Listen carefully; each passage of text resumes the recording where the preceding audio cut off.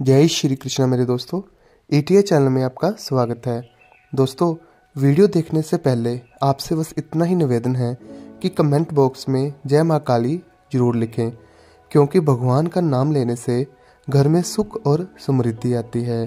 दोस्तों, वैसे तो माँ काली आदि शक्ति है। वास्तव में काली ही शिव है और शिव ही काली है।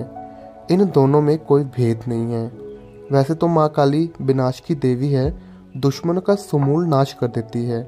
किंतु यदि आप काली माता को अपनी माँ की तरह प्यार करेंगे, उनकी पूजा करेंगे तो आप सोच भी नहीं सकते माता आपकी कहाँ कहाँ रक्षा करेंगी।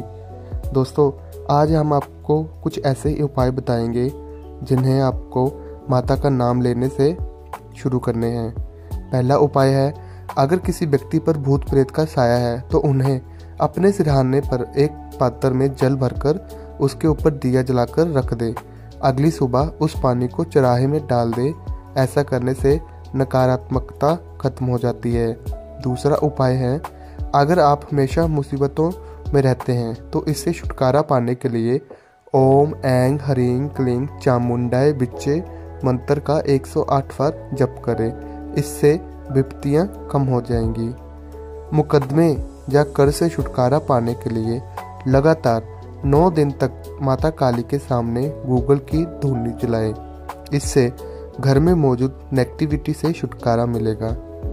पापों से मुक्ति पाने के लिए 11 या 21 शुक्रवार काली जी के किसी भी मंदिर का दर्शन करें और अपने सामर्थ्य के अनुसार नारियल और फूल माला चढ़ाएँ।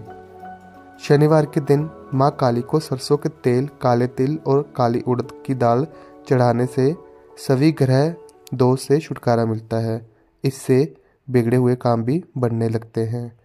शुक्रवार को माता को काली चुनरी, चूड़ी बिछियाँ आदि अर्पित करके माता को पाँच तरह की मिठाई का भोग लगाने से माँ प्रसन्न होती है। इससे आपकी सारी मनोकामनाएँ पूरी हो सकती है। जय माँ